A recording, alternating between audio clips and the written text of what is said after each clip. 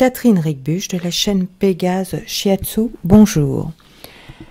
Aujourd'hui, nous allons voir la fin de ma conférence d'écologie que j'avais faite il y a très longtemps et que là j'ai remis un peu au goût des jours avec des données plus actuelles. Et notamment, je rappelle qu'on avait vu que le furet à pattes noires, suite à l'extinction par l'homme euh, de, enfin pas l'extinction, mais la quasi-disparition du chien de prairie dû à l'homme, et en fait il n'avait pas disparu, mais euh, presque maintenu. L'homme cherchait vraiment à faire disparaître sa proie de, de, pour des raisons totalement erronées. Et donc euh, lui, euh, comme il était le, seul prédateur dont c'était l'unique proie, il a eu des difficultés à, se maintenir et donc ça a été, on a été à deux doigts de sa quasi-extinction. Et on a pu le réimplanter par des techniques modernes en faisant vraiment des études scientifiques qui ont permis de se débarrasser un peu de tout ce qui était euh, des idées fausses sur, euh, sur des animaux sauvages eh bien, qu'est-ce qui se passe? Il se passe parfois que l'homme intervient sur euh, des choses qui se mettent un peu naturellement ou un peu artificiellement dans le cadre des réserves. Hein. C'est ce qui s'est passé au parc national d'Etosha en Namibie, en Afrique. Il y avait deux populations de zèbres, le zèbre de montagne et le zèbre commun. Alors, comme je vous l'ai mis un peu plus loin, on observe des différences morphologiques sur ces deux zèbres. Les rayures du zèbre de montagne sont ont des rayures ombrées entre les rayures noires, alors que le zèbre commun, le ventre est dépourvu de, de rayures. Alors, euh, au contraire du zèbre de montagne où les rayures vont jusqu'au ventre. L'encolure du zèbre commun est droite, alors que l'encolure du zèbre de montagne est en, poche. Et donc ces zèbres se sont développés au, sein d'une même communauté dans, dans ce parc national. Le zèbre commun est très développé, au contraire, son cousin, le, zèbre de montagne, est très peu répandu et ne s'adapte pas facilement à, son nouveau milieu.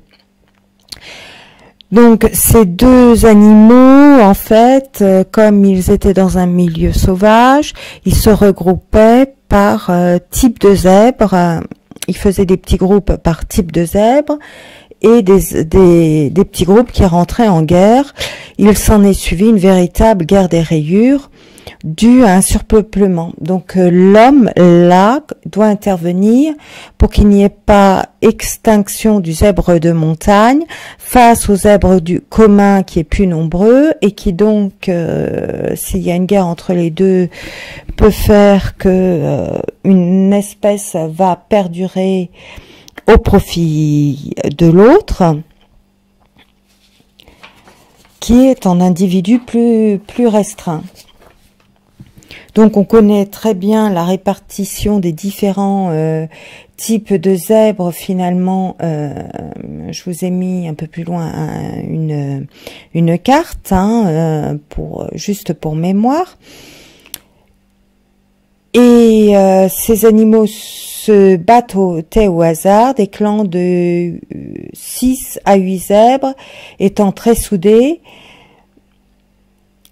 mais ils se battaient facilement avec les individus des autres clans, à quelque race qu'ils appartiennent.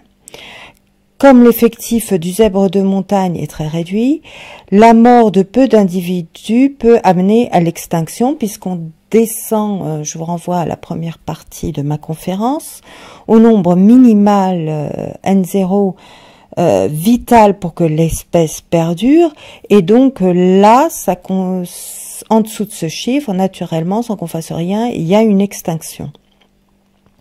Il faut donc déplacer la race pour qu'il soit capable de s'adapter à un nouveau milieu. Euh, le zèbre commun euh, va être déplacé à l'aide d'enclos spécifiques et d'hélicoptères et on va laisser sur place le zèbre de montagne qui s'adapte peu et, on, va laisser le, le zèbre de montagne qui s'adapte peu étant donné que le zèbre de le zèbre commun peut s'adapter facilement. Donc qu'est-ce qu'on fait? On met euh, des systèmes d'enclos et on les fait et, le long d'un de le couloir qu'on a prévu pour eux, à l'abri des, des, routes, on met des, des espèces de filets et entre ces couloirs de filets, on fait, euh, on chasse à l'aide d'hélicoptères et de main d'œuvre euh, petit à petit ces, ces zèbres communs jusqu'à ce qu'ils arrivent à l'endroit où ils ne gêneront plus les zèbres euh, de montagne et donc comme ça on arrive à sauver les, deux espèces. Pourquoi euh, en fait conserver finalement ces deux espèces? C'est très simple, c'est parce que vous avez certainement entendu parler de biodiversité. Pour qu'il y ait biodiversité, il faut un maximum d'individus différents. Donc, euh, en fait, vous avez l'espèce zèbre et il y a des sous-espèces, zèbre de montagne, zèbre de, de grévy et zèbre commun. Et donc, il faut préserver ces trois espèces pour pouvoir avoir un pool génétique suffisant en cas de problème sur l'une ou l'autre de ces trois espèces pour pouvoir euh, arriver à, les maintenir. Donc ce n'est pas gratuit, c'est que chacune de ces trois espèces, si elle existe, c'est bien parce qu'elle s'est développée, chacune ayant des capacités d'adaptabilité à un milieu donné particulier. Et donc on ne sauve pas en fait un, zèbre juste pour une histoire de rayure, c'est parce qu'il y a d'autres gènes qu'on ne connaît pas forcément et qui vont pouvoir euh, aider plus facilement à maintenir des populations de zèbres euh, dans le, en, Afrique, même si le zèbre commun est le plus courant et peut-être le plus adaptable. Pour ceux qui ont vu ma vidéo sur l'évolution, je leur ai déjà parlé de la marque, comme quoi euh, même si le darwinisme euh, reste la principale euh, théorie d'évolution qui marche, on s'aperçoit qu'en fait, il y a des gènes qui arrivent et donc euh, c'est pour ça qu'on vous parle énormément de biodiversité. Des gènes, ce qu'on appelle des gènes mutants, une mutation qui apparaît brutalement sur un grand nombre d'individus euh, sur une population donnée. Et euh, donc, on aurait tort de trop caricaturer la marque, puisque c'est l'apparition d'un nouveau gène plus facilement, euh, qui correspond plus à une adaptation euh, à un nouveau milieu donné, soit parce que l'espèce a migré, soit parce qu'il y a eu déformation par phénomènes tectoniques, notamment euh, poussées de montagnes, ou bien euh, création de ravins suite à des phénomènes euh, géologiques qui fait que les, espèces sont séparées et le milieu est perturbé. Et c'est ça, c'est ce pool euh, génétique qui fait avec de nouvelles mutations, avec aussi des métissages d'espèces qui fait que bah, l'espèce finalement va survivre. Et donc, euh, ce serait un tort de croire que la marque qu'on a si souvent caricaturée et que moi-même, euh, en, première et en terminale, on m'a dépeint, même en, en, soit en histoire, soit en biologie, comme quelque chose d'aberrant, n'est pas si aberrant que ça finalement. alors du coup, je vais vous parler de la drépanocytose. La drépanocytose est une maladie génétique qui touche les humains. Donc euh, pour une fois, je vais vous parler des humains et qui font euh, les individus qui sont atteints de ce gène. Alors euh, je ferai des cours sur la génétique un peu plus tard pour ceux qui qui, qui seraient intéressés. Mais il faut savoir qu'un gène en fait s'exprime en, fonction de deux exemplaires du gène. Vous avez tous deux exemplaires d'un gène puisque les les euh, chromosomes en fait ça marche par paire. Euh, par paire identique. Sauf que euh, sur une même paire de chromosomes, vous avez un gène dû à un caractère, mais sur l'autre chromosome, soit ça va être une variante de ce caractère, soit ça va être le gène normal. Et donc, quand vous avez un gène de dépanocytose sur un des deux chromosomes et le gène normal qui fait des chromosomes bien ronds qui permettent euh, d'avoir une hémoglobine et de, normale et de, de, de, du coup fixer l'oxygène que vous avez respiré pour finalement euh, le transporter dans votre organisme et que ça arrive à la, aux cellules qui en ont besoin, eh bien, parfois, dans les populations d'hommes noirs, vous avez un gène qui traîne et qui fait des, des, qui, qui, est celui de la drépanocytose. Et pour atteindre la drépanocytose, il faut que les deux chromosomes aient le gène porteur de la maladie. Et pourquoi cette maladie est intéressante en termes d'écologie? Eh bien, c'est parce que si vous superposez la carte de la drépanocytose et la carte du, des gens qui sont atteints de paludisme, qu'est-ce qui se passe? Vous vous apercevez que ça correspond à peu près. Et pourquoi ça correspond à peu près? C'est tout simplement parce que, évidemment, quand vous avez les deux gènes malsains, vous vous retrouvez avec des euh, hématies en forme de faucille, d'où le nom euh, de la maladie falciparum. C'est l'autre nom de la drépanocytose, qui fait que vous n'arrivez euh, vous avez des individus qui arrivent difficilement à fixer l'oxygène et donc ça crée des, une maladie qui peut être mortelle si elle n'est pas soignée correctement. Autrefois, les individus mouraient jeunes parce qu'on ne soignait pas correctement. Maintenant, j'ai rencontré une personne de 40 ans qui arrivait à travailler avec cette maladie-là. Je ne sais pas jusqu'à quel âge euh, elle a vécu, mais à 40 ans, euh, elle euh, pouvait travailler et vivre à peu près correctement. Bon, certainement que ce sont des individus qui vivent moins moins tard euh, que, que, que, que, la moyenne, mais on arrive à des durées de vie à peu près correctes, puisqu'à 40 ans, euh, sa vie n'était n'était pas inquiétée.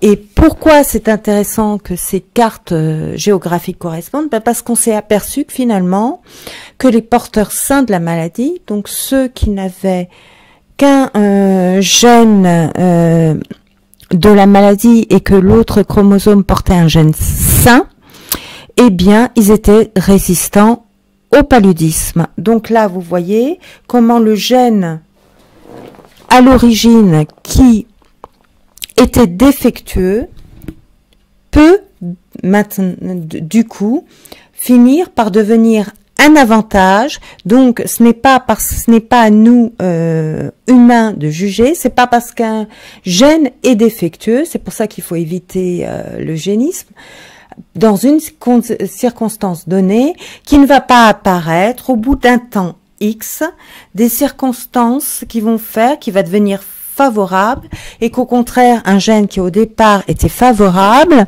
dans d'autres circonstances, va devenir défavorable. Il n'y a pas que le fait que de grands génies qui ont eu des maladies euh, n'auraient pas pu voir le jour et convaincre vaincre cette maladie et leur donner des capacités euh, à, à faire évoluer notre notre espèce humaine.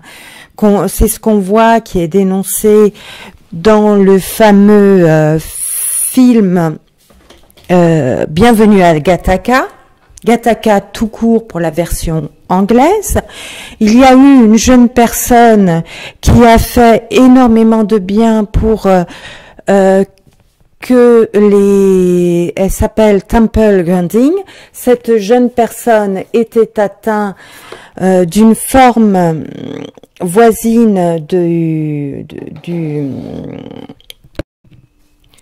d'une forme voisine de l'autisme et grâce à sa sensibilité, grâce au fait qu'elle avait du mal à accepter le toucher, elle a pu, dans tous les euh, abattoirs américains, mettre en place quelque chose qui, au moins, même si malheureusement l'animal est toujours tué, il faut dire que c'est une personne qui a vécu, qui est née et qui a été élevée dans un, élevage, donc euh, pour elle manger euh, des vaches ne lui posait pas problème, mais ce qui la choquait, c'est la façon dont les individus étaient traités dans les abattoirs.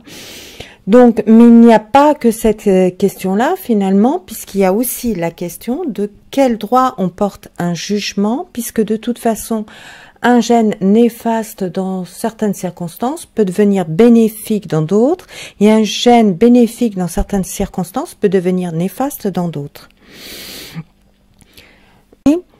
il y avait un cheval, on vous parle toujours, euh, il faut arrêter de vous parler des Brumbies qui sont du, portent le nom euh, d'un officier qui a lâché les quatre premiers euh, et qui du coup n'aurait jamais dû être lâché en Australie et qui se sont de, façon excessive développés et qui créent réellement des ravages, ce sont un ravage écologique. Il faut arrêter de nous parler des Mustangs qui eux sont des chevaux qui ont été lâchés par les conquistadors et qui ne sont pas naturels. Moi, je vais vous parler d'un cheval qui s'appelle le cheval de Przewalski. Donc le cheval de Przewalski est un, un, un cheval qui a évolué génétiquement depuis les depuis depuis les temps préhistoriques. Mais euh, même s'il a évolué génétiquement, il a conservé les caractères externes des chevaux préhistoriques. Quand on le voit, on pense tout, tout de suite à l'art préhistorique. Ils ont à peu près la même morphologie. Ils ont euh, la couleur Isabelle, des des, l'arrêt de Mulet, qu'on appelle l'arrêt de Mulet, c'est l'arrêt qui parcourt le dos, qui relie la crinière à la queue. Et donc ça, c'est des caractéristiques antiques, préhistoriques du cheval. Et avec la morphologie qui correspond effectivement au dessin que vous voyez dans l'art préhistorique. Et il a une taille d'un mètre trente qui correspond plus à, à, à des tailles de, de l'époque, alors que euh, dans le monde moderne, on a tout fait pour que les chevaux soient un peu, un peu plus hauts. Et pourquoi je vous parle de ce, cheval à, alors qu'on a parlé euh, de, de, on est en train de parler de consanguinité, de gènes, et eh ben c'est tout simplement parce qu'on s'est rendu compte qu'ils qu'ils souffraient de consanguinité. Et donc, dans les années 90, on s'est dit, mais ça serait bien de, de mettre euh, un programme pour les sauver. il y a des études génétiques qui ont, été faites. On s'est rendu compte qu'en fait, euh, il avait euh, quelque chose au niveau génétique de comparable finalement à l'espèce à l'espèce moderne. Et notamment dans les mitochondries, euh, on s'est aperçu qu'ils avaient exactement les mêmes mitochondries que les, euh, que les chevaux modernes. Preuve qu'ils étaient très proches du cheval moderne. Et euh, ce cheval qui avait été découvert par le colonel Nikolai Mikhailovich Przewalski, origine polonaise, qui était un explorateur qui les a découverts. Euh, donc, il porte le nom de son découvreur. Il a fallu donc mettre en place un système visant à redévelopper cet animal qui euh, avait des asymétries, des dents qui n'étaient plus alignées suite à sa, consanguinité et qui réduisait de, l'espérance de, vie euh, des chevaux de moitié. Donc il a fallu régler le problème, on a fait des études génétiques et euh, grâce à des études de génétique, il y a pu y avoir un relâchage de 84 animaux. Bon, qu'est-ce qui s'est passé? Mais en fait, on a euh, euh, utilisé en les différents os qui en avaient se sont associés pour qu'il y ait une utilisation de tout le pool génétique. Et on m'avait parlé de, ces chevaux dans les cours de dans les cours que j'ai eus et pourquoi on m'en a on m'en a parlé en fac. Tout simplement parce que suite à des hybridations on a fait des on n'a pas fait ça n'importe comment. Donc il reste encore des individus euh, totalement euh, d'origine qui ont des zébrures mais se font de plus en plus rares parce que en fait, les individus qui ont été hybridés hybridés ont perdu qu'un seul caractère, les zébrures noires qu'ils avaient sur les membres. Mais ça a permis en fait de sauver cette espèce qui aurait pu euh, finalement disparaître. Alors je me suis pris le chou avec euh, quelqu'un qui prétendait que je n'y connaissais rien, que les gens qui était dans les eaux s'y connaissait mieux que moi. Ben, vous voyez, hein, j'ai fait quand même des études, je sais un minimum de quoi je passe. Pourquoi? Parce que j'avais osé dire que c'est quand il me disait que le lion asiatique qui est en train de disparaître, hein, qui est le lion asiatique ou le lion persique ou le lion d'Asie, eh bien, qu'est-ce que c'est ce qu'il faudrait faire, il fallait faire? Il y a euh, environ 500 spécimens, donc euh, beaucoup plus euh, que ce qu'il y avait en cheval de Przewalski pour lequel on a fait ce truc. Il n'y a pas assez d'individus, on peut pas faire de trucs génétiques, bah si, on peut peut-être les hybrider.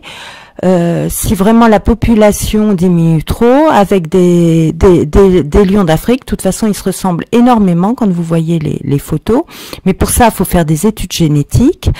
Et effectivement, c'est vrai que les gens dont il a parlé, qui étaient dans des eaux, s'y connaissent, font partie de ces, de, ces phénomènes, mais ça ne veut pas dire que moi, en tant que biologiste formé, je n'ai pas un devoir d'information des gens, donc qu'ils arrêtent de dire que je n'y connais rien et qu'ils savent et que ceci et que cela. Faut peut-être écouter ce que les scientifiques, même s'ils sont pas en branche, embauchés dans des réserves pour euh, faire ces systèmes-là. Euh, oui, on peut sauver encore des, des espèces comme le lion d'Asie, qui n'a pas la même couleur tout à fait que le lion euh, africain, qui ressemble beaucoup au lion africain. On peut faire quelque chose euh, de ce côté-là. Et j'aimerais que les gens arrêtent de parler à tort et à travers parce qu'ils ont parlé cinq minutes avec des spécialistes et qu'ils ont en face un autre spécialiste qui peut euh, leur expliquer ce que le spécialiste a, a voulu leur dire et qu'ils n'ont absolument pas voulu entendre. Donc il faut faire attention, oui, le lion euh, asiatique est en train de disparaître, mais ça ne veut pas dire qu'on ne peut rien faire. C'est deux choses totalement différentes. Et je vais revenir du coup euh, sur une relation spécifique hein, entre ce qu'on appelait le, dodo et sa nourriture, le dodo ou drone de l'île Maurice, que certains qui sont allés à l'île Maurice, là je n'y suis pas allée, euh, euh, ont vu partout des images, mais en fait c'est un, individu qui a totalement disparu. Et vous aviez trois espèces en fait. Le dronte ou dodo de la Réunion, le dronte ou dodo de l'île Maurice et le dronte ou dodo solitaire. Donc ces trois espèces ont disparu parce qu'on les a pourchassées pour la viande et qu'on croyait que c'était des individus totalement stupides qui ne servaient à rien. Et du coup, par la chasse, les individus, non pas, les, gens du coin, non pas les Mauriciens, mais euh, les explorateurs et les gens qu'ils ont amenés sur pour coloniser l'île Maurice, ont fait disparaître le dronte qui a disparu depuis 300 ans. Donc on a des dessins, mais on n'a même pas de photos. Et qu'est-ce qui s'est passé? C'est que on avait l'arbre tombalacoque qui est endémique de l'île de la Réunion. Les plus jeunes pousses sont des individus d'au moins 300 ans et on ne comprenait pas comment ça se fait qu'il n'y avait pas de jeunes plantules alors que pourtant des individus âgés de plus de 300 ans produisaient des fleurs, des graines et des fruits. Et on s'est dit, mais il y a quand même euh, une coïncidence parce que le dronte ou le dodo de l'île Maurice a disparu il y a 300 ans. Et en fait, on, a fini par comprendre, c'est une hypothèse qui n'a pas été prouvée au départ, mais euh, ce qui est ce qui était au départ, euh, on s'est dit, mais en mangeant euh, les graines, il devait casser les fruits. Et les noyaux étant brisés euh, du coup par le dronte ou le dodo, ça a libéré euh, les graines à l'intérieur des noyaux brisés et ça entraînait la germination. Et du coup, ils ont fait le test avec le dindon. Ils ont vu que ça marchait qu'il y a un passage dans le gésier qui brise l'endocarpe du, du, fruit. Donc euh, en fait, c'est si vous voulez la structure rigide qui y a autour, hein, ben, un peu comme une noix. Hein. On n'est pas euh, dans, dans imaginez une espèce de grosse noix. Et donc, du coup, la germination avait lieu et ça a prouvé le mutualisme entre les deux, d'où l'arbre ne disparaîtra pas puisque du coup les forestiers s'occupent de casser euh, ces fameux noyaux euh, brisés pour euh, faire pour remplacer le, le dodo de l'île Maurice. Et donc je je vous parle d'autres plantes. Le le Ruisia cordata, ou pois de senteur blanc, c'est une espèce qui n'avait pas euh, la chance du tombeau coq. Euh, il y avait à peu près 3-4 exemplaires euh, de, du genre sur la Réunion. C'est aussi une autre espèce endémique de la Réunion. Et euh, cette plante était euh, mis un pouvoir euh, magique. Les gens croyaient que ça avait un pouvoir magique. Et cette espèce était en voie de disparition. Et on a envoyé, sept boutures sont envoyées à Brest, où il y a eu une culture in vitro de, ces plantes, c'est-à-dire en dehors de tout en, milieu stérile. Et euh, c'est comme ça qu'on a pu régénérer euh, les boutures et on a réussi à Brest à produire 2000 plants de l'espèce. Mais il y a une forte euh, mortalité sur le site d'origine à cause des cyclones. Une autre espèce endémique, le Limonium dendroides, est endémique des Canaries dans la nature. Trois pieds seulement ont été retrouvés et ont été ramenés à Brest. Cela s'est mal passé car l'espèce est stérile. Donc il, il faut faire des croisements entre individus différents. Donc quand vous avez peu d'espèces, c'est pas possible donc le bouturage étant un, échec, ils n'ont pas pris et euh, euh, il fallait euh, qu'est-ce qu'ils ont fait? Ils ont fait de la culture in vitro de bourgeons en dernier recours. Cela a marché, donc ils ont pris les bourgeons et c'est les bourgeons uniquement qu'ils ont fait se développer. Et euh, cela a marché, on a obtenu, des plans sont obtenus, mais la réintroduction n'est pas encore faite. Il faut donc faire euh, beaucoup de travail et il faut utiliser, oui, je suis désolée de le dire, le génie génétique, non pas pour faire euh, des espèces factices, pour euh, modifier les gènes, mais on n'est pas obligé de modifier les gènes. On peut faire de la culture in vitro ou de la ou bien euh, pour les plantes, parce que ça marche très bien. On est capable, euh, grâce à des hormones différentes à partir de bourgeons, recréer une plante entière. Et ça, bon, bah, c'est ce qui se passe à peu près dans la nature. Et il ne s'agit pas de manipuler des gènes et on peut s'occuper de croiser des individus pour essayer de réimplanter un peu de diversité génétique. Et ce n'est pas de la manipulation génétique, c'est ce qu'on a fait dans les temps anciens en en connaissant moins, mais que le génie génétique, par l'étude des gènes et le, et le décryptage des gènes, nous permet de faire beaucoup plus intelligemment et c'est ce qu'on faisait dans l'élevage. Quand vous faites euh, croiser deux individus pour qu'ils produisent davantage de viande ou davantage de lait, c'est ce que vous faites. Ou que vous faites pour produire un chihuahua ou un berger allemand à partir du loup, c'est ce que vous faites. Seulement là, c'était pour un intérêt humain, une beauté ou de l'agroalimentaire, mais on peut, grâce au génie génétique, mettre cette science au service des espèces en voie de disparition et euh, cela n'a rien d'une manipulation de gènes. Il ne s'agit pas de manipuler, c'est pas des OGM, c'est autre chose.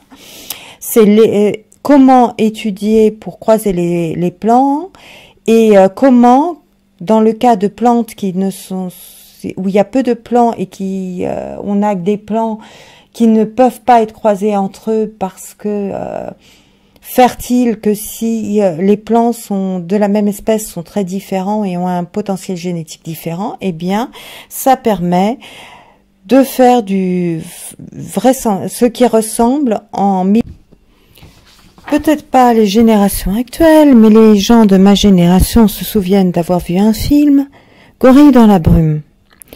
Alors si euh, pour les sardines, les guerres euh, sont intéressantes parce qu'on les pêche moins et elles sont plus nombreuses et du coup les requins en profitent, il y a d'autres euh, problèmes qui sont générés par les guerres, notamment quand le Zaïre, l'Ouganda et le Rwanda ont des troubles.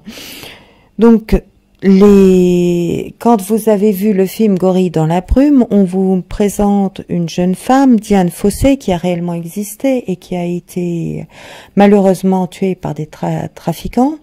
enfin, elle est morte dans des conditions troubles, mais c'est certainement des trafiquants qui l'ont tuée. Eh bien, elle étudiait justement des petits peuplements de, de gorilles qui étaient de faibles populations qui étaient euh, finalement euh, aux frontières de ces trois pays, Zaïre, Ouganda, Rwanda, qui sont souvent des euh, pays qui sont en guerre ou quand c'est pas en guerre entre eux, c'est des troubles internes. Et ces populations sont souvent isolées entre eux, c'est ce que vous voyez sur, sur le graphe. Il s'agit de sous-espèces de gorilles, donc euh, avec un pôle génétique bien particulier. C'est pour ça que, euh, comme ils ont été isolés pendant de nombreuses années avec ces, guerres, ils ne se sont pas mélangés euh, aux autres gorilles. Ce sont les gorilles de l'Est africain. Et les deux populations qui sont vraiment à la frontière entre le Zaïre, le Rwanda et l'Ouganda en fait, ce sont les seuls gorilles de la sous-espèce Berengei. Et c'est cela qu'étudiait la très connue par un film Diane Fossé. La médiocre aptitude de ces gorilles à se déplacer expliquerait euh, leur faible quantité et, la, et cela explique la médiocre aptitude au déplacement de cette sous-espèce de gorille expliquerait la différenciation en sous-espèces euh, représentée par 600 à 650 individus en deux unités, elles-mêmes isolées géographiquement depuis plusieurs euh, centaines d'années. Et c'est bien parce que elles étaient isolées et du coup euh, isolées pendant des centaines d'années, ça fait que oui, ça crée un pool génétique que vous ne retrouvez pas ailleurs, ça suffit, hein, quelques centaines d'années. Et c'est pour ça que Diane Fosset les étudiait. Le bouquetin des Alpes a été anéanti par les chasseurs, donc c'est un peu la même histoire de notre euh, fameux dodo et bien sympathique dodo dont nous n'avons plus que quelques images et des t-shirts de pub pour l'île Maurice. Et vers 1950, les derniers bouquetins euh, euh, étaient italiens. Les réserves les réserves italiennes, on a puisé pour reconstituer ces populations italiennes en dans les bouquetins en France. Il est possible que si le lieu est privilégié pour l'espèce, si la suppression temporaire de la chasse est possible, de réintroduire en se des individus dans la nature de provenance variée pour avoir une, assez bonne variabilité génétique. En Tchécoslovaquie, le bouquetin est prélevé sur des animaux provenant d'Europe. Cela n'a pas marché. Les animaux étaient si variés que les rejetons ne comportaient pas d'adaptation au milieu, la période de rut se faisait beaucoup trop tôt et la mise bas se faisait en hiver. Donc il y a eu mort d'individus jeunes. Le comportement reproducteur s'est mal mis en place. Donc vous voyez la nécessité d'agir à temps quand il y a encore quelques individus locaux pour pouvoir euh, faire des hybrides pour que ça se fasse correctement. Si vous agissez trop tard, il y a des échecs. Heureusement, on a beaucoup de réussites, mais il y a des échecs. Et merci aux gens des eaux de euh, participer, aux eaux et réserves de participer à ce genre d'expérience. Alors, on a tous plus ou moins lu, en tout cas dans ma génération, parce que c'était à la mode d'étudier ça, La gloire de mon père, où il parle de les fameuses deux Partavel qu'il a, qu'il a tuées. Euh, et je crois, je crois me souvenir que c'est d'un seul coup de fusil, ou vous me corrigerez si je m'en souviens, parce que c'est un peu loin, hein, la gloire de mon père. Donc, euh, vos enfants peuvent se dire un jour, mais qu'est-ce que c'est que cette fameuse Partavel dont on voit, hein, et que j'ai jamais, on entend parler, puis j'ai pas vu dans la nature, euh, bah oui, parce que c'est pas quelque chose qu'on voit tous les jours. Bah, la Partavel, c'est une perdrix. Et la Bartavel n'est pas en voie d'extinction, mais par contre sa copine, la perdrix rouge, que vous voyez en photo ici, est en voie d'extinction. Donc la gloire de mon père est un outil pour dire, bah, vous voyez les enfants, pour le moment, la Bartavel n'est pas en voie d'extinction. Vous pouvez encore en voir dans la nature, mais peut-être que sa copine, la perdrix rouge, vous ne la verrez plus. Et peut-être aussi que c'est la perdrix rouge qui sauvera la Bartavel de l'extinction si les individus diminuent de façon considérable parce qu'on les chasse trop. Et donc il y a tout un système d'éducation qui peut être fait par la lecture des enfants. euh, c'est même là que la littérature aurait un rôle à jouer, pas seulement un rôle littéraire, euh, pas seulement un rôle de rencontrer des histoires qui nous fascinent, mais il peut y avoir des tas de choses pédagogiques, soit de façon spirituelle, soit de, à travers les légendes, et à travers euh, tout ce qu'on peut inventer ou les histoires humoristiques à partir d'histoires vraies, mais aussi carrément des leçons d'écologie, euh, justement parce qu'on aime ces livres, ces livres peuvent nous attacher à plus de respect pour la nature. Il était important de comprendre aussi qu'il n'était pas le seul où euh, une plante avait un lien intraspécifique avec une autre espèce. Vous le savez très bien, c'est le cas euh, du panda avec le bambou, que ce soit le panda, panda qu'on connaît ou le un peu moins connu, pourtant premier découvert par les occidentaux, panda roux, qui est plus en Inde, alors que le panda, le grand panda est noir et blanc, il est plus en Chine et aussi le fameux koala avec ses branches d'eucalyptus. Il faut bien comprendre que ce n'est pas parce qu'une espèce est très spécifique qu'elle n'est pas évoluée. Au contraire, c'est le maximum d'évolution qui fait qu'elle ne peut plus s'adapter à autre chose. Elle s'est énormément adaptée à un individu particulier, un, un, milieu très particulier, c'est le cas des chevaux, nos chevaux que vous voyez si courants, que vous croyez qu'ils ne sont pas, qui sont très adaptés à toutes sortes de milieux, ben non, ils sont très adaptés à la plaine et à la course. Ils ne sont plus transformables. Vous ne pouvez pas, comme son ancêtre d'origine, le faire vivre dans des forêts. Il est adapté à la plaine, à la course, à la fuite et pas au saut comme disent certains cavaliers, euh, parce que des cavaliers connaissent très bien les chevaux, mais euh, d'autres un peu moins. Non, le cheval n'est pas fait pour sauter, même si ça ne me dérange pas qu'on l'utilise pour le saut d'obstacle, au fond, pourquoi pas, hein, c'est pas, quand c'est pas une espèce sauvage comme le Prévalski, qui d'ailleurs est très peu, euh, qui n'est est trop sauvage pour être euh, domestiqué. C'est pour ça qu'il est préservé comme le zèbre à l'état sauvage. Eh bien, euh, eh bien donc n'est pas adapté au saut d'obstacle, est plus adapté aux courses de long champ pour fuir les prédateurs. Et dans la nature, l'obstacle, il en a peur et il l'évite. Voilà, c'est ce que font la plupart euh, des proies. Vous allez voir apparaître une photo. Euh, le tamarin lion, là j'ai pris une photo d'un tamarin lion doré, mais euh, bon, je vais parler des tamarins lions en général. C'est un primate forestier.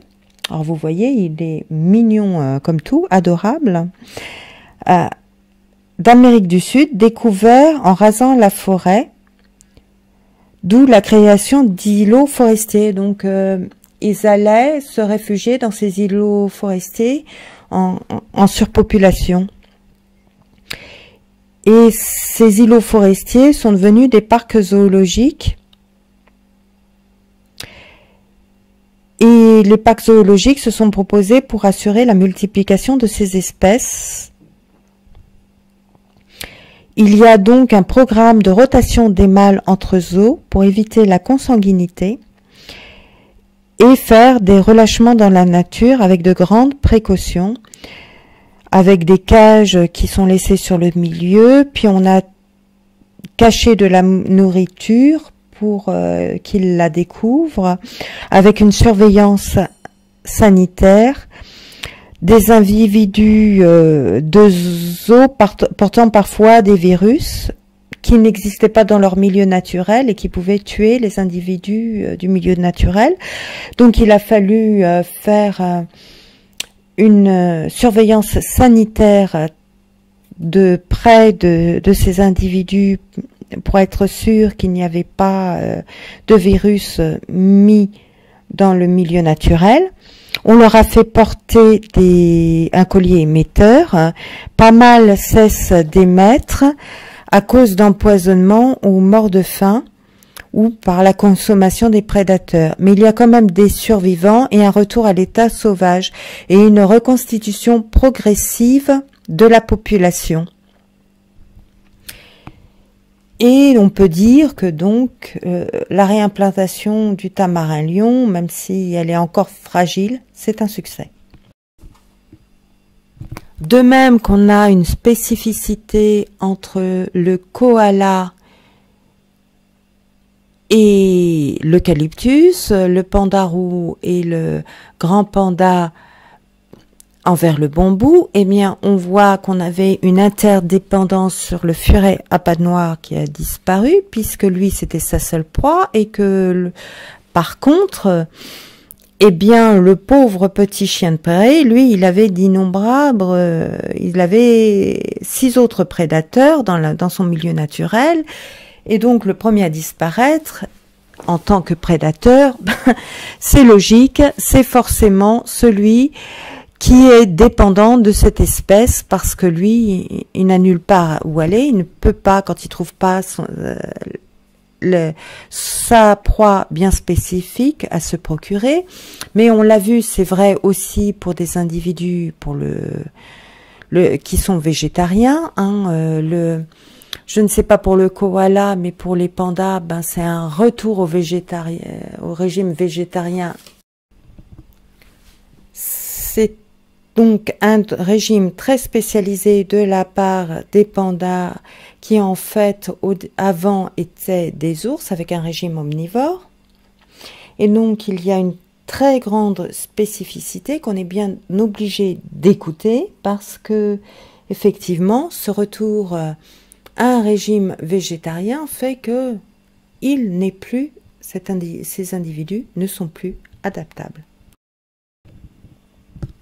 Il faut donc, quand on s'intéresse aux animaux et un écosystème, donc inévitablement, pas seulement traiter des animaux, mais aussi s'intéresser aux végétaux qui sont parfois un peu moins populaires, surtout les espèces sauvages qui n'ont pas toujours la beauté de nos variantes euh, chez le fleuriste, mais qui sont des individus plus adaptés euh, au milieu et qui parfois sont bien euh, intéressantes pour euh, euh, au, au, point de vue nourriture ou au point de vue médecine traditionnelle parce que se soigner par les plantes, on y vient de plus en plus. Donc là, je vais vous parler de la lobélie. Alors, il y a deux espèces représentées sur la photo. Une espèce met 40 à 60 ans pour devenir adulte, puis fleurit une fois, un épi floral jusqu'à 3 mètres de long et meurt. Une autre espèce est immature pendant 60 à 40 ans. Elle fleurit la première fois, épi floral petit, avec un nombre de nombreuses rosettes qui, se développent. Quelques années plus tard, il y a un épi floral, etc., etc. Donc, vous avez une reproduction multiple sur cette deuxième espèce. Et c'est pour ça qu'il y a le terme de semelle part. On se reproduit une fois dans leur vie, qui est le contraire d'hétéropare, se reproduire plusieurs fois dans la vie et on peut se demander en quoi c'est favorable. Eh bien, pour savoir en quoi c'est favorable, il faut tout simplement étudier le milieu. Le milieu, euh, en quoi ça permet euh, d'être adapté au climat et aux herbivores qui mange ces herbes En quoi Si vous étudiez pas tout l'écosystème, même ce qui vous intéresse pas, même ce qui est d'un aspect un peu plus rebutant, ben euh, vous ne faites pas réellement de l'écologie. C'est bien beau euh, les beaux petits tabaralions là que je vous ai montré euh, juste avant, mais voilà, si vous voulez qu'il y ait toujours des beaux petits tamaralions, il faut aussi étudier des choses moins moins d'un aspect qui, vous attire peut-être un peu moins parce que ce ne sont pas des mammifères, parce que ce ne sont pas des animaux, parce que ce sont des plantes, même si euh, il y a des gens qui s'intéressent aux plantes, mais malheureusement c'est rarement les plantes sauvages qu'on euh, perturbe énormément dans leur écosystème. Et je le rappelle, une, un écosystème de prairie, c'est laissé, c'est pas débroussaillé, même chez nous, où il y a peu euh, de naturel, de mai à août, de mai à août, on ne débroussaille pas, on débroussaille, même si ça fait des herbes hautes, eh ben on essaye de faire brouter, on débroussaille en avril, en septembre et éventuellement on retaille un peu entre septembre et avril. C'est ces périodes-là, mais ce n'est en aucun cas en mai, en juin, en juillet ou en août. Ce n'est pas vrai. Ça, c'est les données de l'INRA. Je n'invente rien. Et même pour des, prairies à utilisation de bêtes, si vous ne voulez pas développer d'espèces envahissantes qui sont même néfastes aux troupeaux, c'est comme ça qu'il faut procéder. C'est pas moi qui l'invente, c'est l'INRA je vais vous parler d'un autre exemple. C'est un lamentin vivant aux le lamentin vivant aux États-Unis. C'est un mammifère marin qui se déplace lentement.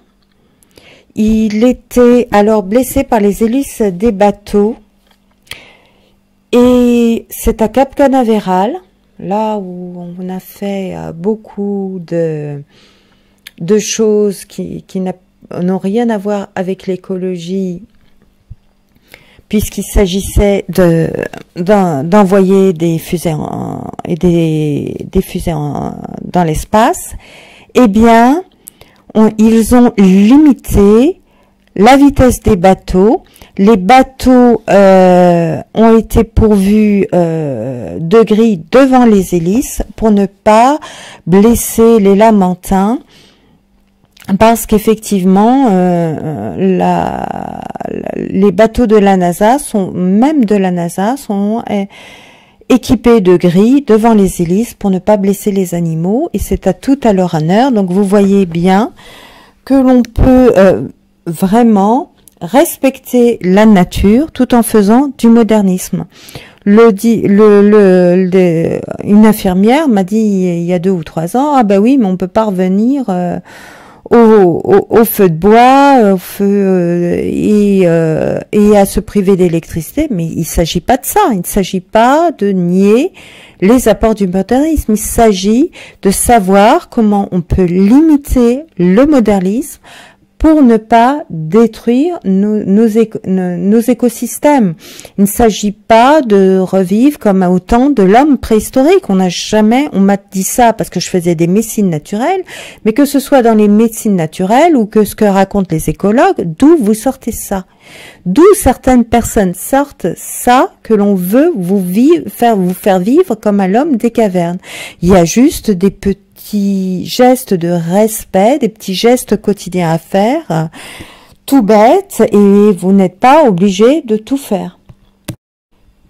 Et ce lamentin, finalement, il fait partie quelque part du folklore, de la mythologie, puisque ce serait cet euh, animal qui serait à l'apparition de la légende des, sirènes.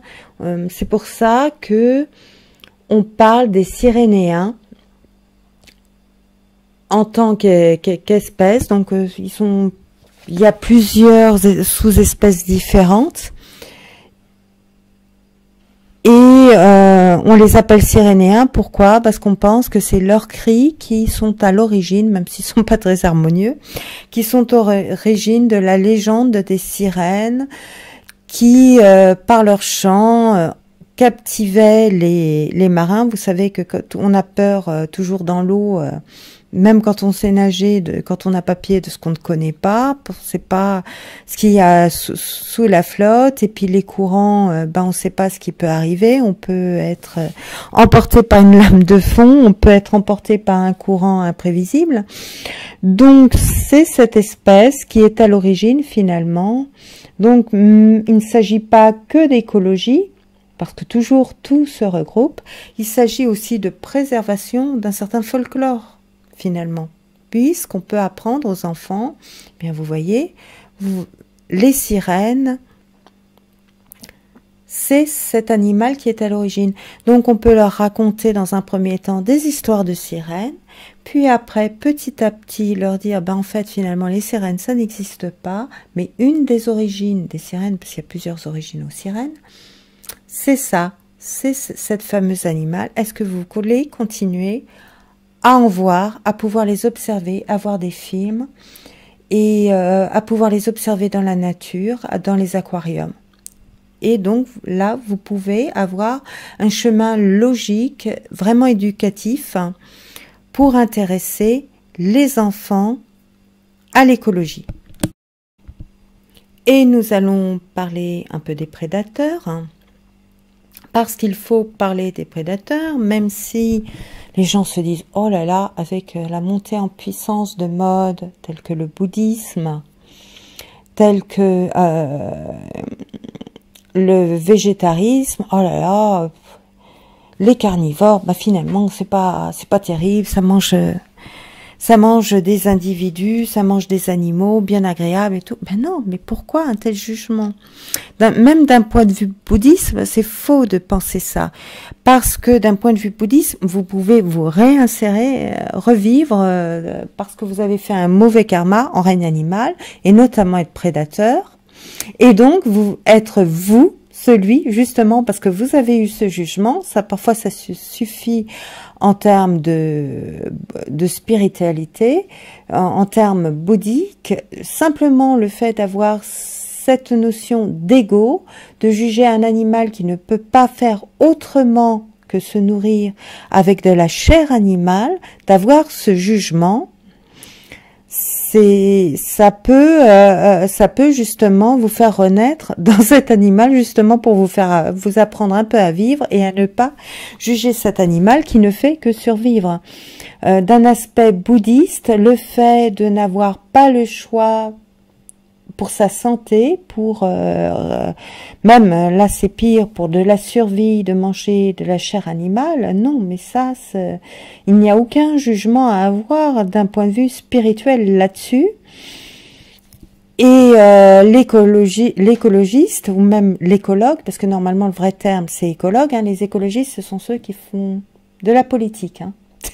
Et qui ne s'y connaissent pas forcément. Certains s'y connaissent un peu, d'autres pas du tout. Mais ceux qui s'y connaissent vraiment, ils ont redéfini un terme parce qu'ils en avaient marre euh, d'entendre tout et n'importe quoi pour que des gens puissent avoir des lois. Eh bien, le vrai terme, c'est écologue. Vous voyez, euh, on n'est pas, on n'est pas à recréer des termes de façon idiote pour que ce soit plus à la mode, pour que ce soit moins culpabilisant, ce qui en soi est négatif. Technicien de surface pour, balayeur, non mais franchement, qui a eu cette idée stupide On est ce qu'on est, et sait pas changer le mot qui en fera, mais là, les écologues ont eu le, le chemin inverse, ont dû justement changer le mot parce que tout, tout et n'importe quoi était dit. Et donc, si on a vu que les renards euh, périclitaient euh, dès que les populations de lapins et donc la proie, en plus, elle est très soumise à, sa, le prédateur est très soumis à sa proie. Les fluctuations de, de proie engendrent des fluctuations de prédateur. S'il y a chute de proie, quelque temps après, il y a chute du, pré, du prédateur. Et donc finalement, est-ce que c'est si sympa d'être une proie? Je n'en suis pas, je n'en suis pas si sûre. Et un des plus grands euh, mammifères carnivores est en danger, en fait. Euh, c'est euh, le l'ours polaire. L'ours polaire, vous voyez, vous trouvez pas ça magnifique un ours polaire? Moi, je trouve ça magnifique un ours polaire. Eh bien, ils sont en voie d'extinction. Donc il y a aussi des carnivores en voie d'extinction et il faut pas émettre un jugement. Moi, je suis dans un chemin spirituel bouddhiste, médecine naturelle. Je n'émets pas de jugement là-dessus puisque ce sont des animaux qui font ça pour survivre. Il ne s'agit pas d'un ego humain qui pourrait vivre autrement, qui pourrait peut-être limiter ses rations de viande à 120 euh, grammes par jour au lieu de prendre 300 500 grammes par jour, ce qui vous faites le calcul, hein, euh, vous allez voir, peut-être pas si vous mangez que du bœuf, mais le bœuf c'est pas la viande la plus saine qui est sur terre. Hein. mais faites le calcul avec des poulets euh, d'un kilo et demi, vous allez voir que le chiffre il devient vite astronomique sur le nombre de poulets que vous faites tuer pour euh, pour vivre. Donc d'un point de vue spirituel, c'est plutôt ça. C'est euh, est-ce qu'on doit tuer autant de vies humaines pour nous survivre alors qu'on a d'autres choix finalement et qu'on en consomme trop et que c'est pour ça que l'Église catholique a mis en place, je dois le rappeler, euh, non pas pour les paysans qui avaient, euh, qui mangeaient surtout euh, des céréales et quasi, quasiment pas de viande parce que c'était trop cher pour eux, mais à cause des nobles et des soldats qui mangeaient beaucoup de viande. Et donc on a mis le le poisson le vendredi, alors que ça n'a rien à voir avec Jésus-Christ, même si l'emblème du, du, du de Jésus, de Jésus, c'est le poisson, mais pourquoi? Parce qu'il était entouré de pêcheurs. Et tout cela pour vous parler du lynx, qui lui, euh, ben oui, lui, il est en voie d'extinction, euh, surtout le lynx européen. On n'en voit euh, plus beaucoup. Et on le différencie du chat sauvage, vous voyez, parce qu'il a cette espèce de plumet au-dessus des oreilles. Et euh, euh, que le chat sauvage, qui lui ressemble énormément, n'a pas.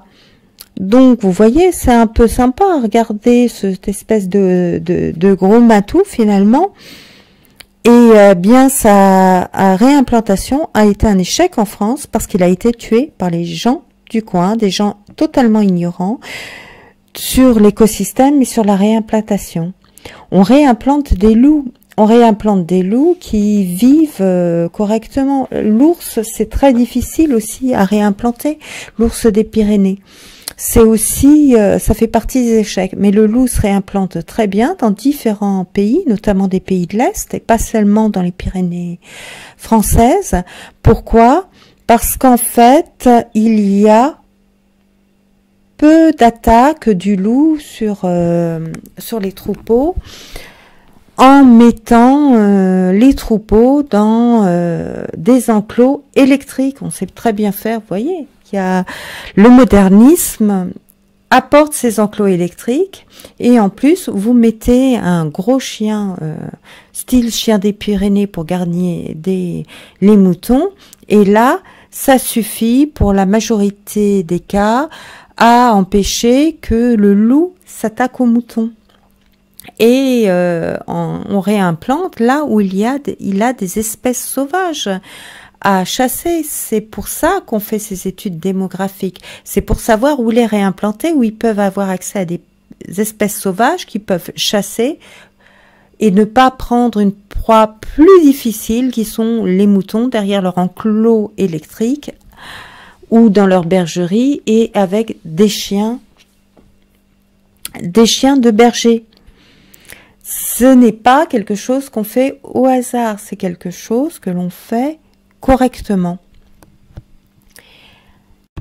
Il n'y a euh, qu'un lynx en fait qui est euh, menacé totalement d'extinction dans la liste 1, mais il faut savoir que toutes les autres espèces appartiennent aux annexes 2 qui sont euh, pas des espèces en extinction mais qui sont pas loin de l'être et euh, dont le commerce doit être observé de près. Alors que la liste 3 est plutôt euh, dans des, espèces dont on ne surveille pas le commerce, mais qu'il faut quand même faire attention à ce qu'on prélève, donc c'est surtout au niveau du prélèvement, et qui peuvent être commercialisés, mais euh, il faut faire attention vraiment à ce qu'on prélève parce que euh, il y a un prélèvement possible, contrairement aux listes 1 et liste 2, mais euh, il ne faut quand même pas croire qu'elles ne peuvent pas aboutir à plus ou moins l'échéance en liste 1 ou en liste 2. Et tout ça pour vous parler de la catastrophe. Hein. on a créé euh, des catastrophes où ça Eh bien, en Australie, où de nombreuses espèces ont disparu. Qui parmi vous a vu un loup de Tasmanie? Je vais vivant. Personne. Personne parce que euh, le loup de Tasmanie ou tigre de Tasmanie, à ne pas confondre avec le diable de Tasmanie, qui est encore autre chose, est une espèce marsupiale qui a disparu et dont on n'a plus que quelques images euh, cinématographiques et quelques dessins. Les images cinématographiques ayant été faits en noir et blanc au début du cinéma, dans des eaux. On les a même pas filmés dans leur milieu naturel. Et pourquoi ces espèces marsupiales ont disparu? Ben Parce que quand on a colonisé l'Australie, on a amené toutes les espèces possibles et inimaginables, pas seulement les fameux brumbies qui ont été relâchés par les colons et ont créé notamment le fameux brumbies qui était un officier qui, en a relâché quatre, d'où euh, c'est le premier connu à les avoir relâchés, mais il n'a pas été le seul. Et ils ont créé une vraie, une véritable extinction de multiples espèces marsupiales. Mais pourquoi? Mais tout simplement parce que il n'y avait pas de d'espèces mammifères, il n'y avait que des mammaliens. Et donc euh, les marsupiaux étaient les seuls à se développer. Ils étaient protégés des mammifères en étant séparés géographiquement en fait des autres mammifères qui sont qui, sont plus adaptés au jour d'aujourd'hui. Et l'arrivée de tout ce que l'on a pu euh, que les colons ont pu emmener en Australie, bah ça a créé la disparition des, des marsupiaux, de, la quasi de, d'énormes euh, quantités d'espèces de marsupiaux, quoi. Euh, c'est, c'est l'homme qui a créé ça. C'est pas la nature, c'est l'homme. Et on a implanté, mais vraiment toutes sortes d'espèces, hein, parce qu'on l'exemple le plus typique, c'est les chevaux, les bambis, les moutons. Mais moi, j'ai vu euh, des photos où on a même importé des chameaux, quoi. C'est ça, là, ça devient mais mais vraiment du délire. Il y avait un écosystème avec des espèces intéressantes. On n'a pas pu étudier ce en quoi elles étaient intéressantes. Elles ont disparu. Et au jour d'aujourd'hui, eh bien, euh, on ne peut pas savoir en quoi elles étaient adaptées à l'Australie. On ne, on n'aura jamais quasiment plus cette information. Et peut-être que euh, ces espèces auraient été intéressantes dans d'autres conditions plus intéressantes que les mammifères classiques. Il faut aussi parler des insectes même si ils sont un peu moins populaires, les insectes représentent 85 à 90% du règne animal, c'est énorme, dont les coléoptères les plus nombreux sont les plus nombreux. Donc par coléoptère, vous imaginez, ça veut dire elle en forme d'étui. Donc imaginez tout ce qui est scarabée, coccinelle et compagnie. 1 million de 200 000 espèces d'insectes sont connues, mais il, en existe certainement mm, entre 10 et 15 millions euh, d'espèces d'insectes, on ne les connaît pas tout. Donc les 9 dixièmes restent certainement à étudier dont les plus nombreux sont les coléoptères. Ça, c'est les chiffres quand j'étais en, fac, qui datent un peu, mais bon, je ne pense pas qu'on sache encore tout, même si on a dû progresser. C'est donc une erreur de croire que faire de l'écologie, c'est de préserver les gros mammifères tels que les baleines, les phoques ou bien d'autres dont on entend surtout parler. Et puis le reste, bah évidemment, comme c'est moins populaire, hein, on en entend beaucoup moins parler les extinctions de gros animaux ne sont que la face visible de l'iceberg, car plus attachants et plus volumineux que les autres. Et donc je vous parlerai des chenilles processionnaires. Les chenilles processionnaires doivent être... Euh, il y a des échenillages, c'est-à-dire qu'on les détruit, les nids de façon régulière. Euh, parfois les chasseurs peuvent être appelés dans les sociétés de chasse pour faire ces échenillages et personne ne doit s'opposer à ce qu'il les tue.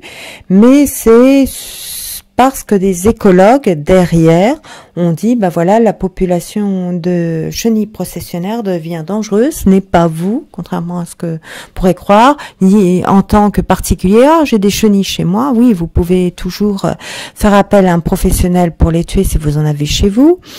Mais euh, l'organisation sur toute la commune ce n'est pas de votre ressort. Il faut le savoir donc ce n'est pas la peine de casser les pieds aux mairies, c'est pas comme ça que ça se passe. C'est comme ce n'est pas la peine de casser les, pieds à votre mairie. Oh bah oui, il y a des risques d'incendie parce que ça n'est pas fait chez le voisin. Ce n'est pas votre problème. Euh, il faut arrêter ces délires de harcèlement de voisinage qu'on voit partout à l'heure actuelle. Vous n'êtes pas écologue, ce n'est pas à vous de décider ce que doit faire la mairie. La mairie ne peut pas rentrer et faire euh, ce que vous voulez chez les voisins. Ça, c'est pas vrai. C'est ce qu'on appelle une violation de domicile. Et, et, la mairie ne peut rentrer que dans certaines conditions définies par la loi et parce qu'il y a des décrets qui sont faits soit par arrêté préfectoral, soit par décision de justice. Merci de, l'entendre et d'arrêter le harcèlement pour trois fois rien alors que votre vie n'est pas en danger. Et donc les échenillages de chenilles professionnelles euh, des sociétés de chasse, donc vous voyez, les chasseurs ne sont pas inutiles, peuvent être mobilisés pour détruire les nids euh, de chenilles processionnaires hein, suite à une étude écologique. Et pourquoi je vous en parle? Parce que je veux vous parler de ce qu'on appelle le bousier, le scarabée. C'est un peu la même famille. Ici, vous avez en photo le scarabée euh, sacré, là, celui qui était euh, adoré en Égypte. Et vous voyez, donc euh, les anciens, s'ils adoraient certaines choses, c'est parce que c'était utile. Qu'est-ce que fait ce petit animal avec ses petites pattes de devant? Eh bien, il rassemble des débris de végétaux et euh, de, de fesses animales, donc euh, d'excréments animal, pour en faire une boule. Et euh, c'est de ça dont il se nourrit et il recycle pour qu'après ce soit directement assimilable par les végétaux. Donc vous voyez, il y a des insectes utiles utiles et qui, qui, qui finissent par disparaître parce qu'on ne veut pas entendre qu'ils sont utiles parce que oui, bah voilà, ça touche au caca des animaux. Bon, en général, c'est plus les débris végétaux qui, qui les intéressent. Mais euh, ils font, euh, ils, utilisent aussi euh, les fesses des animaux. Ce sont de grands nettoyeurs. De même que les charognards nettoient les eaux, ont un rôle sanitaire les, les copophages ont aussi un rôle sanitaire qu'il faut respecter. Et euh, la photo d'après, là c'est un dessin plutôt, eh bien c'est le lucane ou cerf-volant. Voilà, vous voyez, c'est un, un coléoptère qui est bien sympathique parce qu'il a comme une espèce de ramure comme euh, les bois d'un cerf, d'où son nom de cerf-volant. Eh bien, euh, les, populations de cerfs-volants tentent à disparaître. Pourquoi? À cause de la gestion des forêts. Parce qu'il n'a plus sa nourriture. C'est quoi? C'est pas, c'est de manger du bois, mais pas le bois de chez vous. Ce n'est pas un, un xylophage qui doit vous inquiéter. En fait, il s'attaque aux au bois en putrétion d'arbres morts. Et comme on nettoie les arbres morts euh, avant que les insectes n'arrivent, eh bien, il ne peut plus survivre. On lui interdit l'accès à la nourriture. Et c'est, c'était lui le nettoyeur des arbres morts.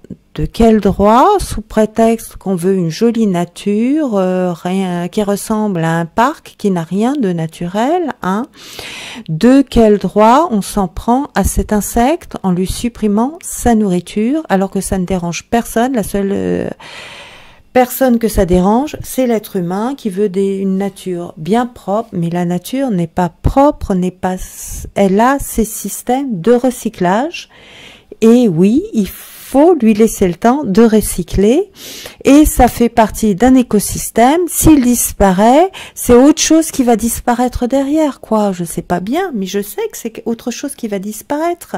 Lui, il disparaît à cause de ce qu'on a fait disparaître sur un plan humain parce qu'on veut des parcs. On ne veut pas une nature sauvage, une belle nature qui nous remette en question. Non, non, on veut des trucs stériles, euh, inodores, sans saveur.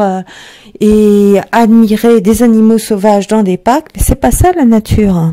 Donc vous n'êtes pas écologiste, vous n'êtes surtout et encore moins écologue si vous faites ça. Euh, vous êtes des gens égoïstes à ce moment-là qui ne pensent qu'à vous observer, dans un, univers stérile qui déprécie votre système immunitaire parce qu'il n'est plus confronté à ces à ces microbes, il n'apprend plus à se défendre et puis c'est ça qui fait que aujourd'hui on a plein d'allergies quoi parce que on n'a plus un système immunitaire digne de ce nom. Tout ça, ça fait partie d'un ensemble. Donc ne vous plaignez pas que euh, votre système de santé se déprécie, parce que ce n'est pas seulement les pollutions qui font ça, c'est aussi cet assainissement grotesque que l'on fait. Et là, je vais vous parler du perce-oreille. Le perce-oreille dont on dit qu'il vient rentrer dans les canaux pour percer le tympan. Ben non, c'est pas l'origine de son nom. Vous savez ce que c'est que l'origine de son nom? Eh bien, l'origine de son nom, c'est qu'il a des cercles, vous voyez, derrière, qui euh, ressemblent aux instruments dont, on se servait autrefois percer les oreilles. C'est pour ça qu'il s'appelle perce-oreille. Vous voyez comme quoi on, arrive à des trucs complètement aberrantes et loin de la réalité euh, première. Et bah, cet insecte, finalement, il est très utile. On peut aussi venir, il y a une autre variante, euh, du fait qu'on les retrouvait au cœur des fruits euh, à noyaux très durs sachant que les quartiers d'abricots et de pêche sont appelés des oreilles ou des oreillons. Le nom des perce-oreilles leur serait ainsi resté. Et il n'est pas considéré comme un ravageur, mais plutôt comme un auxiliaire du jardinier, parce que c'est un grand consommateur d'insectes dits nuisibles ou ravageurs. Il consomme aussi des végétaux très mûrs ou en début de décomposition, donc il ne va pas sur vos fruits et légumes qui sont sains, il va plutôt sur ceux que vous avez oubliés sur l'arbre. Et donc c'est à la fois un grand nettoyeur euh, et un grand prédateur d'insectes ravageurs. Il a trop souvent été accusé d'être un ravageur nuisible et de toute façon, c'est pas un insecte que vous verrez souvent parce qu'il fuit la lumière. Donc, euh, en général, euh, vous, vous, vous, vous, ne le verrez que, que, que très peu. L'un des intérêts de vous parler des insectes, c'est que justement, les insectes sont énormément étudiés en, en agriculture euh, raisonnée. Qu'est-ce que l'agriculture raisonnée? Parce qu'on parle toujours de l'agriculture biologique, qui est une agriculture qui n'utilise que des produits naturels ou pratiquement naturels, parce qu'il y a quelques exceptions. Eh bien, l'agriculture raisonnée, c'est une agriculture où l'on regarde le nombre d'insectes piégés dans les pièges, dans la culture, pour savoir si on fait intervenir des pesticides et dans quelle quantité. Et une autre solution à l'agriculture raisonnée, c'est en fait faire intervenir les parasites.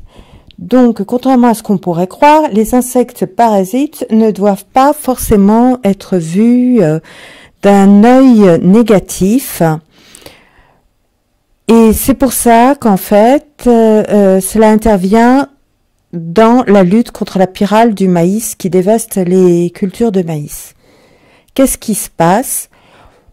On pratique euh, l'élevage de la teigne de la farine. Alors pourquoi la teigne de la farine? J'en sais rien. Certainement parce qu'elle est plus facile à élever sans qu'elle puisse être relâchée dans la nature accidentellement on récupère les œufs de, l'élevage, de la teigne de la farine, on les met en contact avec des trichogrammes, qui sont des insectes parasites, des espèces de mouches, qui pondent leurs larves dans les œufs. On prend ces œufs parasités, on les met à part, on obtient des trichogrammes adultes à maturité, on fait un lâcher de trichogrammes adultes qui, dans la nature, vont parasiter les œufs de la pyrale du maïs dans la nature. Et voilà comment on peut lutter contre la pyrale du maïs plutôt que de mettre des euh, produits nocifs. Alors, tout le monde a plus ou moins des pêcheurs dans la famille qui, dans un moment plus, ou moins lointain, se sont plaints de la disparition des poissons. Alors pourquoi j'en parle? Tout simplement parce que l'intervention euh, de l'écologie des, populations, eh bien, ça intervient dans euh, tout ce qui est pêcherie euh, et élevage de poissons. Comment gérer des populations avec un, un intérêt euh, économique. Donc moi, euh, j'ai connu la disparition du bar, les pêcheurs, moi je pêche pas, mais les pêcheurs qui se plaignaient de la disparition du bar à la tranche sur mer qui devenait de moins en moins fréquent et qu'on pêchait de plus en plus de macro. Et euh, donc c'est là que la gestion en termes d'économie va être le plus important parce que maintenant euh, on ne on ne collecte que depuis que très rarement des animaux pour leur peau, étant donné euh, qu'il y a eu une prise de conscience et que donc c'est plutôt de la fourrure synthétique euh, de l'imitation qu'on voit dans les vêtements plutôt que de la vraie fourrure, même s'il reste encore on est obligé d'utiliser du cuir pour nos, nos, chaussures et nos ceintures euh, et qu'on peut seulement limiter avec euh, des baskets en tissu.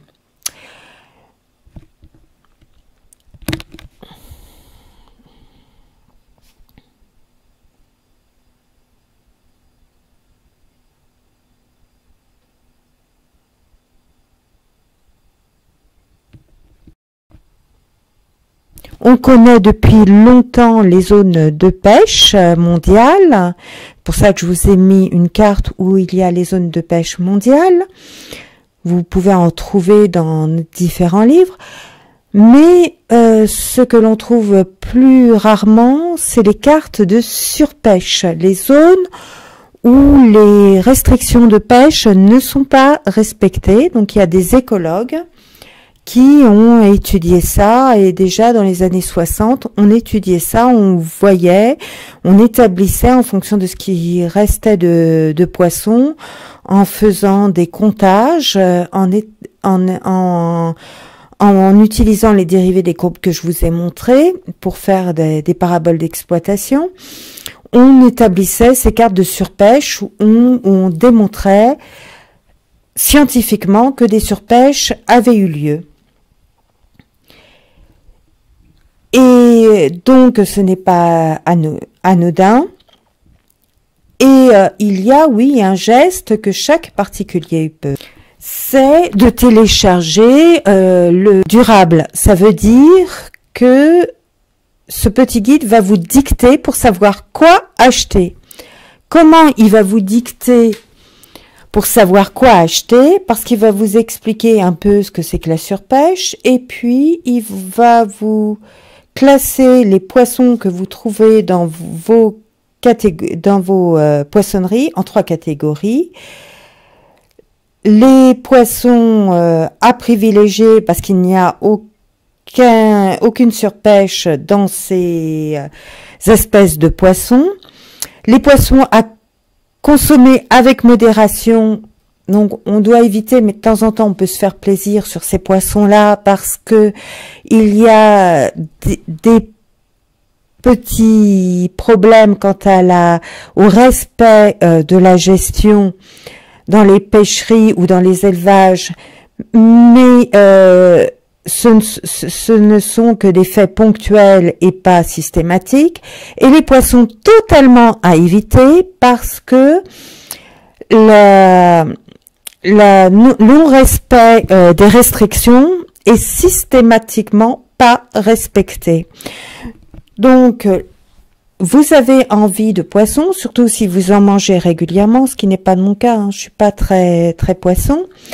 Mais euh, si vous en mangez régulièrement, euh, dites j'ai besoin de telle recette, vous regardez ce petit guide qui est simplement à télécharger et à disposition libre sur le net. Merci les associations et les écologues qui ont participé à une telle euh, une telle mission. Et donc, vous regardez rapidement, en quelques secondes, vous savez si ce poisson est, est dans le respect euh, de, des populations ou n'est pas dans le respect des populations. Et puis, euh, ça serait sympa, ça serait même responsable de changer un poisson qui est dans les espèces à éviter par quelque chose à mettre euh, soit euh, dans les listes, les espèces à consommer avec modération, soit dans les espèces à privilégier.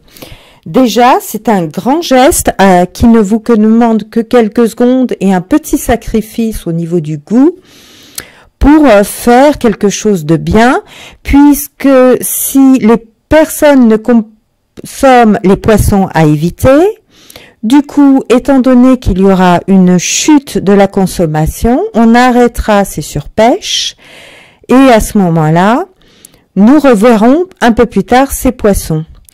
Et ce qui est très intéressant, c'est que maintenant, dans les îles euh, tropicales, hein, euh, loin de chez nous, il y a des zones, euh, non seulement ça s'est appliqué, mais il y a des zones où la pêche est strictement interdite et donc où les poissons peuvent naturellement se réfugier.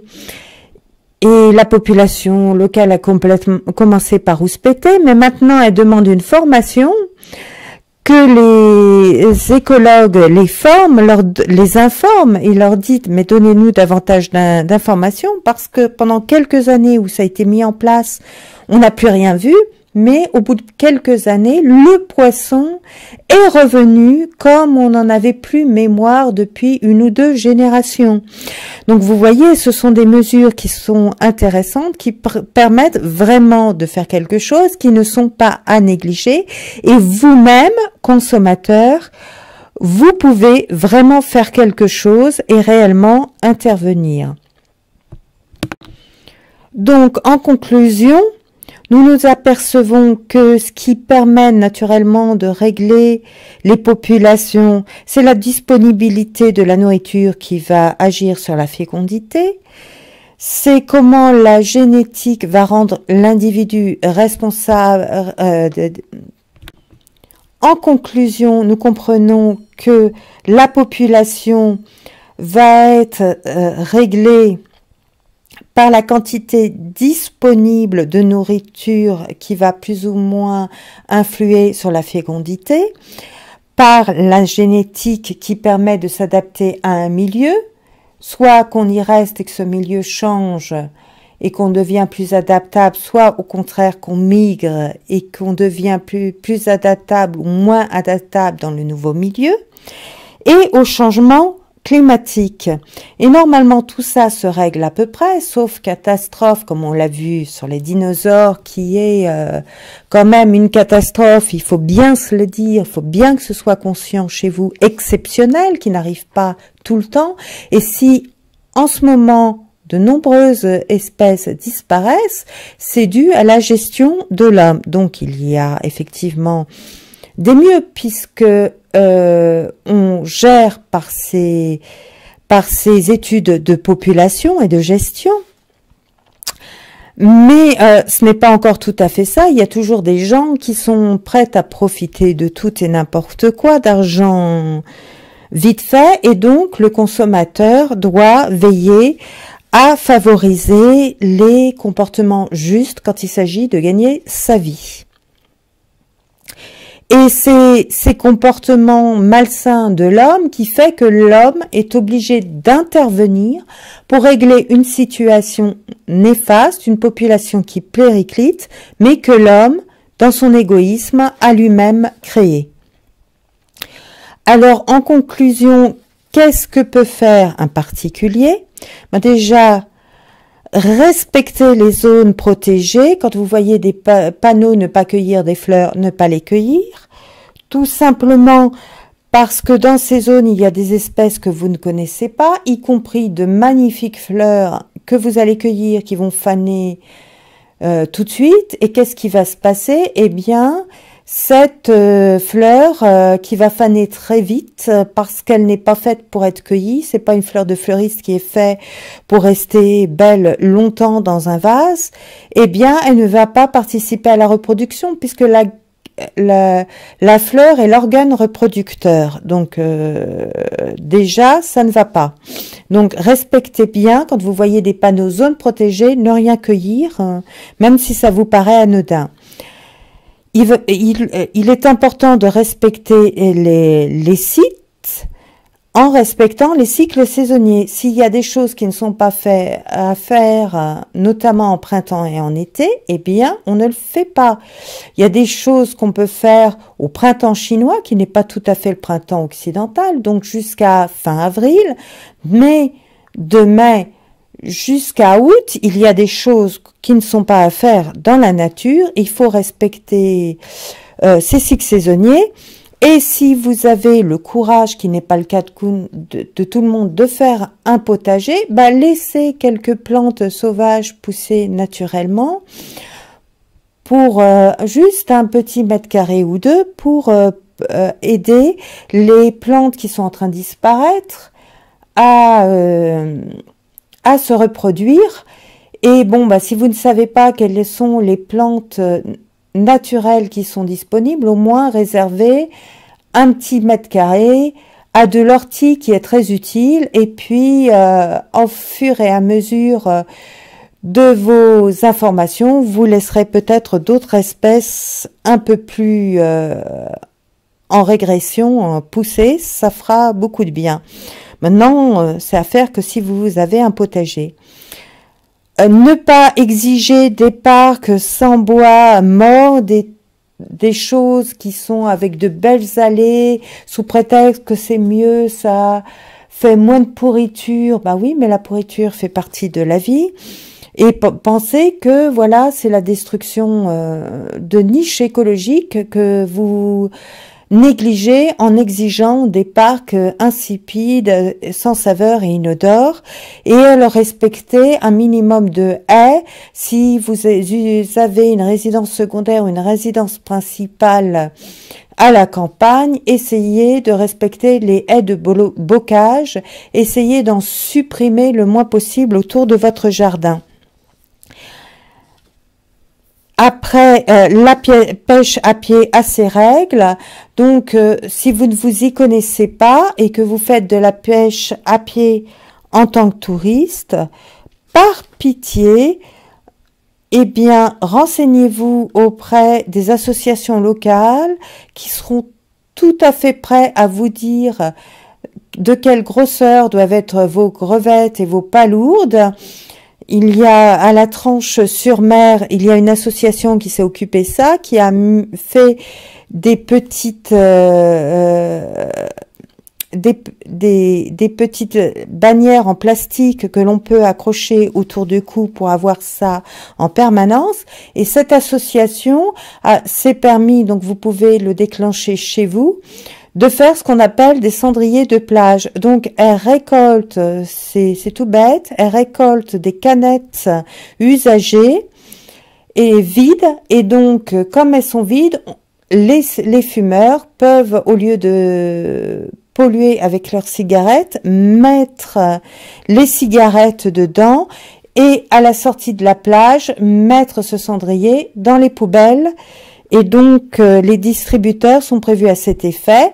Et de vous-même, si vous allez à la plage, vous pouvez emporter une canette usagée euh, comme poubelle et l'acheter parce que même si ça se fait pas par chez vous, il y a toujours euh, des poubelles dans le coin et, euh, ne pas faire ses besoins dans la nature. Hein. Il y a beaucoup de gens qui ont rouspété à la tranche-sur-mer parce qu'il y en a qui faisaient dans les dunes ou dans les sorties de plage.